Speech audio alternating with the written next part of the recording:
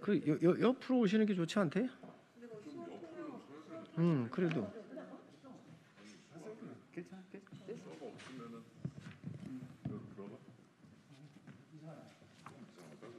그냥 여, 여기 그냥 쓰시죠 뭐. 여- 여기 그럼 여기 한번 이렇게 이렇게? 그게 좀 하나 있어야지 그래. 네, 어제 국민권익위는 추미애 장관과 그 아들 서모 씨에 대한 검찰 수사 사이에 이해, 이해 충돌이나 직무 관련성이 없다고 발표했다. 그뿐 아니라 서모 씨 관련 의혹을 증언한 당직 사병 현모 씨는 공익 신고자에 해당되지 않으며 추미애 장관의 전 보좌관이 청탁 전화를 한 것도 청탁 금지법에 해당되지 않는다는 답변까지 한꺼번에 내놓았다. 하루 사이에 국민 권익위가 정권 권익위가 되어버린 것이다. 국민의 권익을 보호하기 위해 존재하는 국가 기관이 오로지 정권의 비리를 덮고 옹호하기 위한 일을 하게 되었다는 사실에 참담함을 금할 수 없다. 지난해 조국 사태 때 학자 출신 박은정 위원장은 이해 충돌 소지와 직무, 직무 관련성 부분을 인정했었다. 그것이 상식이었기 때문이다.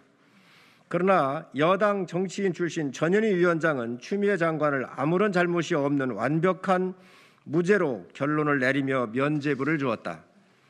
전현희 위원장은 조국 사태 때와 지금 추미애 사태의 차이가 무엇인지 답하라.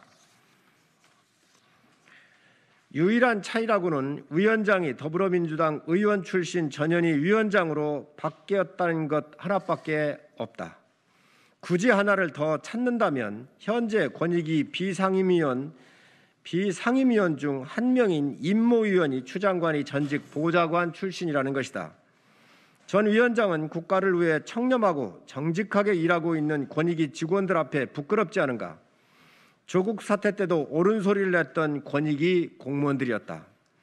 전 위원장은 더 이상 국민권익 운운하지 말고 본인이 국회의원 시절 당 대표로 모셨던 추미애 장관의 사적인 권익이나 열심히 보아라. 상식적 상식적 판단도 못하는 위원장 밑에서 어떤 공직자가 소신을 갖고 국민 권익을 위해 일할 수 있겠는가? 국민 권익을 위해 존재해야 할 국가 기관을 정권의 충견으로 몰락시킨 장본인이 위원장 자리에 있어서는 국민의 피해만 더 커질, 커질 뿐이다. 즉각 사퇴하라. 이상입니다.